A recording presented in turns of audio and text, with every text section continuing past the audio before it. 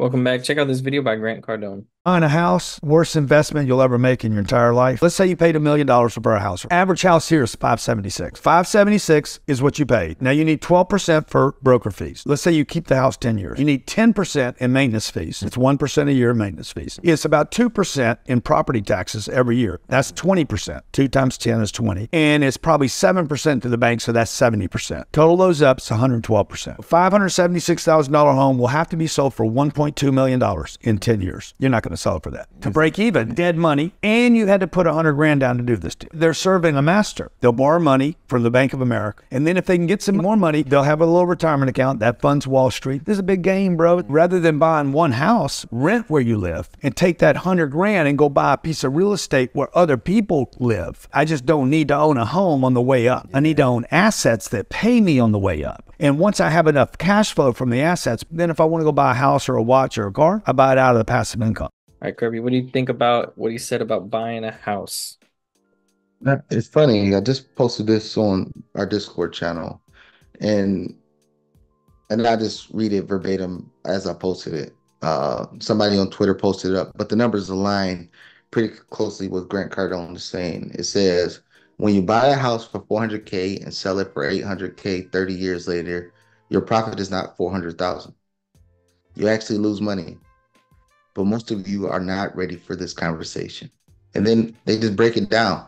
Purchase price 400,000, closing cost 20,000, mortgage interest 400,000, property taxes 144,000, insurance 45,000, maintenance 120,000, selling costs 40,000. So the total cost is 1.169 million. And this is over 30 years if you held up property for over 30 years. So you lose three hundred and sixty nine thousand dollars for what they say is a safe investment or the best investment is a house that you live in.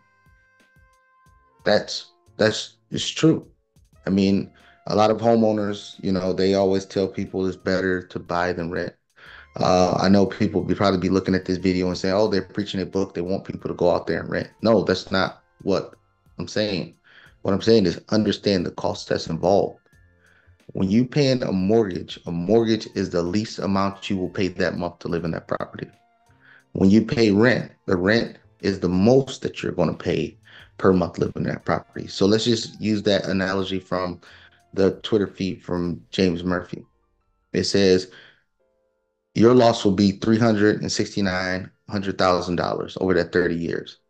Now, if you divide that 369,000 and you divide it by 360 months, which is 30 years, that's a thousand twenty-five dollars.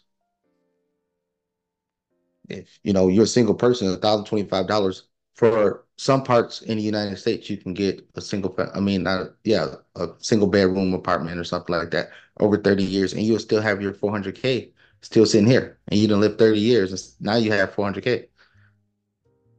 So I mean, I'm not again, I'm not saying that everybody should rent. I'm just saying when you buy and understand the real cost that go into buying. But I also agree with Grant Cardone. If you buy property, especially house hacking, if you if you don't have a house just coming out of your mom, your parents' house, and then or you're looking to buy a house, I will always say, you know, buy a duplex, buy a triplex, buy a fourplex, live in one, rent out the rest. Probably repeat that one more time live in one, rent out the rest. Now, if you bought two fourplexes, now you have eight units, and have those eight units, have the cash flow from eight units to buy the property that you're going to live in. Instead of you just working to pay, working to pay, working to pay, working to pay, and then you're in this perpetual cycle. So I agree a lot with what Grant Cardone say. Sometimes he get like over egregious with it. You know, maybe you need to start by you got to start with 30 unit property. No, you can do it short and simple, one to four units, but that's the way I would go about it to buy a forever home or buy a four hundred thousand dollar home. I would do it just like that. Yeah, and I all, I think that it all starts with understanding what it means and what it is to buy a home, understanding that it is mm-hmm. going to be a um, a liability. And once you mm-hmm. understand that, understand that then by purchasing a liability, it should be understood that that's going to be a luxury purchase. So, can you afford a luxury purchase? And like he said, I don't know if he mentioned in this clip, but I know, I think he did mention it in the clip at the end, but where once you've made cash flow and you've built up, you know, your investment portfolio, then if you want to buy a house or whatever, then or a car or a watch, then go ahead and do it. But in the beginning, for most people, it's going to be a setback because of all the expenses that you mentioned, and there's really no return. And I think that this COVID era, the anomaly that it presented, I think has everyone confused thinking that that's how properties appreciate.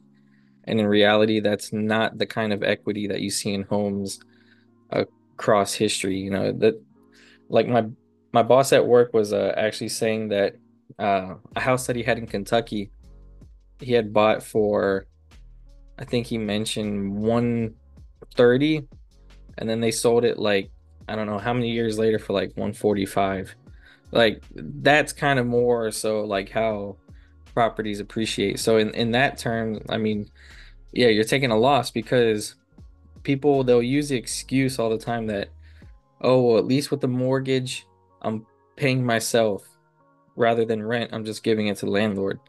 But those first like 10 years you're just paying interest. Like the equity you're paying in a mortgage in the first 10 years is like very little. It's like maybe 10% towards equity. The rest is just all interest. And people don't see that. They don't understand the mortgage breakdown of how you're paying it. So it's a complete loss unless you're going to live there your whole 30 years until the mortgage is paid off.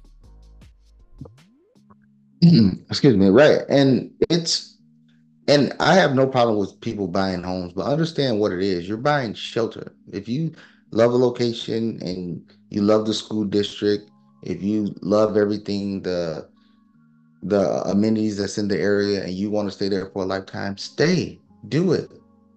But this miss uh that, oh, I'm buy this house and then and you said it best, the COVID era made people think that they can go flip houses with 30 and 40 percent. Uh ask all those people that's on uh that have their house up for sale in Florida right now.